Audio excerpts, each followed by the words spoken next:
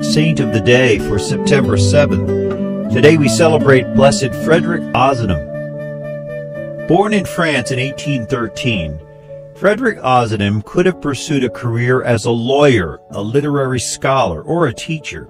Instead, at age 20, he founded a religious association of laypersons devoted to serving the poor. Such an organization was badly needed in and around Paris, where poverty thrived in the early stages of the Industrial Revolution.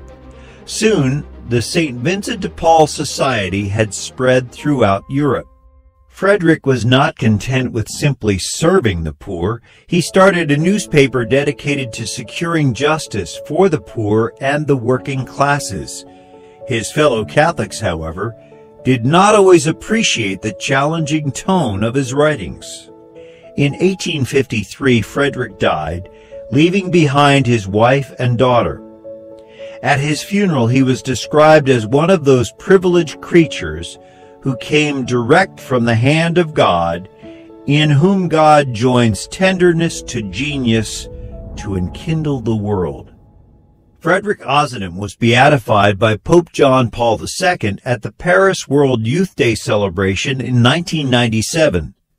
Today, the St. Vincent de Paul Society has close to 1 million members in more than 130 countries.